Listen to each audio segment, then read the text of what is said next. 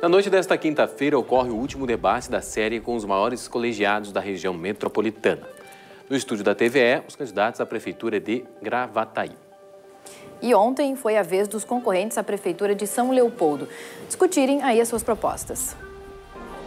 Saguão da TVE é lotado para o debate dos candidatos à prefeitura de São Leopoldo. Os seis concorrentes ao cargo de prefeito participaram do programa.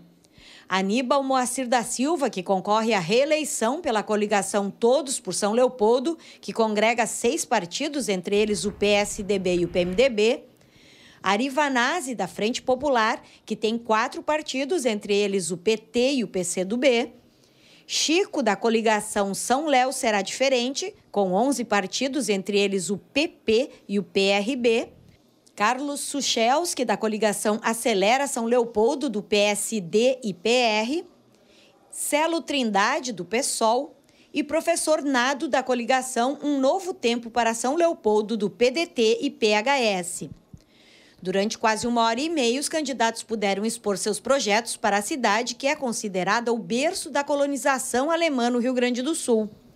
Nos intervalos dos blocos, os principais assessores orientaram os candidatos, fornecendo dados e elaborando estratégias.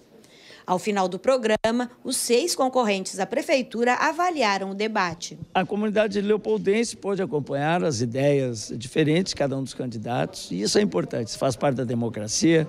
Às vezes há uma exaltação de um lado ou outro, mas faz parte. E todos nós nos conhecemos. Né? Então, importante agora que a, a comunidade leopoldense avalie né? Qual é a melhor proposta? É aquele que tem história e que já fez. Acho que foi muito importante para a população de São Leopoldo poder ter uma noção né, de quais são as, os candidatos mais preparados para recuperar nossa cidade, recuperar os investimentos, a distribuição de renda, recuperar a nossa saúde e recuperar do ponto de vista de investimento da cidade.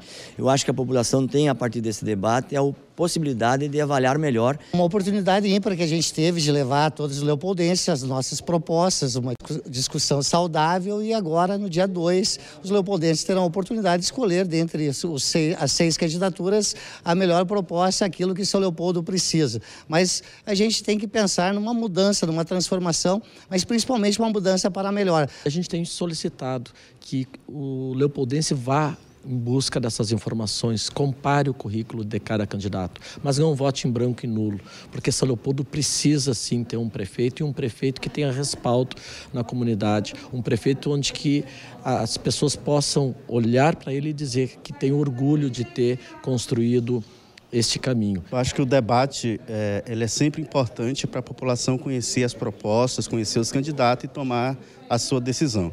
E ele é especialmente importante para a nossa candidatura porque a gente não utiliza da máquina financeira, máquina partidária que as grandes candidaturas têm. Então é mais uma oportunidade que a gente tem, um espaço que a gente tem com a nossa pequena candidatura na sua estrutura, mas grande no sonho, como eu gosto de dizer, tem de apresentar os seus projetos, né? Nós julgamos que as propostas foram apresentadas exatamente na oportunidade em que a TVE nos concede. Foi um bom debate e ficou claro para São Leopoldo que nós temos as melhores propostas, que nós temos uma proposta para a educação integral, nós temos uma proposta para implementar um sistema de saúde capaz de satisfazer o nosso cidadão e, portanto, acredito que a TVE cumpriu a sua missão. A série de debates com candidatos a prefeito das cidades da região metropolitana de Porto Alegre encerra hoje, com a participação dos candidatos que disputam a prefeitura de Gravataí. O programa inicia às 9 horas da noite e tem transmissão também pela internet.